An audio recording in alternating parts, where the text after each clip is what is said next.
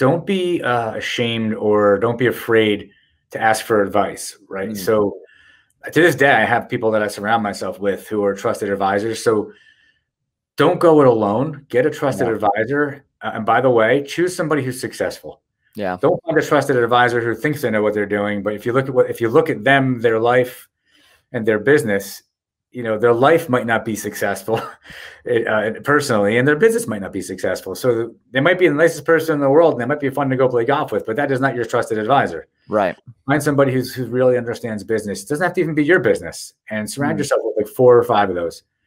Um, i did not do that early on but i began to just organically i had a gut feeling and i began to do it thankfully early enough and mm-hmm. I, I, always had those trusted advisors that would um, really fill me up with really good ideas.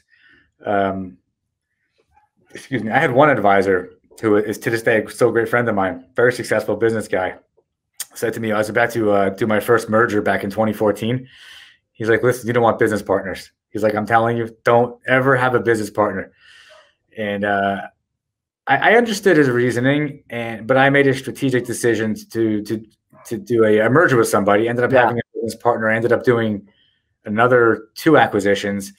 And then in the end, it turned out that he was right. However, the journey I took, which was full of mistakes, full of drama, and full of you know partner issues, it was one of the best mistakes I ever made. Hmm.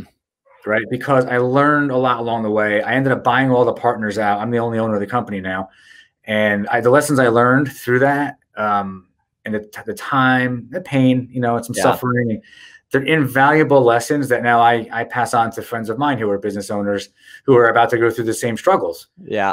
So while you have mentors that will give you advice, you still have to make your own decisions. The other thing I'll say is don't get emotionally hooked on on an idea. Okay. Be creative and get all your information and, and you know know what you're doing when you when you're going to make a decision, but you got to know when to pivot. Mm. But don't get stuck on something. You know, if you if you buy a stock at 30, it's down to 20, and don't hold on to that emotionally and say, "Oh, I'm going to wait till it comes back to 35." Sell it and move on. Gotcha. You know, and, and so one of the things that I'm actually best at is I have no fear of pivoting. I pivot all the time. The people that work with me sometimes it drives them nuts because we'll be doing something, we're going like full speed this way, and I'll say, "No, stop. It's been six months. This is not working. We've invested X amount of dollars in it. Fine. Right investment was a lesson learned. I just got another education. We're going this way. Yeah. And um, not, I'm not always right. I'm not always wrong. But you go with your gut. But you gotta you you have to be able to pivot. Yeah. Um, and I learned along the way the times when I didn't listen to my gut and I didn't pivot or I didn't go with my gut, um, it usually didn't turn out right.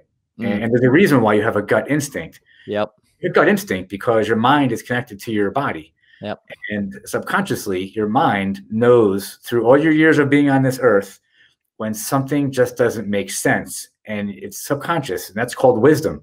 Hmm. And when you when your wisdom kicks in, it sends a signal to your stomach, and something don't feel right. You have a right. gut instinct, okay? Yeah. If if something doesn't seem right, it's not right. Go with it. And I'll give you a great example of what that might be. There's plenty of times where I'll write an email and I write the email in the wrong mindset. Mm. Maybe I'm a little I'm a little upset. Yeah. I learned a couple years ago to send that email to myself. I feel better after I sent it. I got it. I got it out of me. I got it passed through me.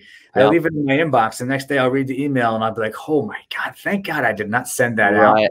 What was I thinking?" Yeah. Well, my gut instinct, I knew, like, yeah, you know what? I better not send this. How many people send off the nasty grams? And it's like you start wars. Like, yep. So, an important piece of advice is trust your gut.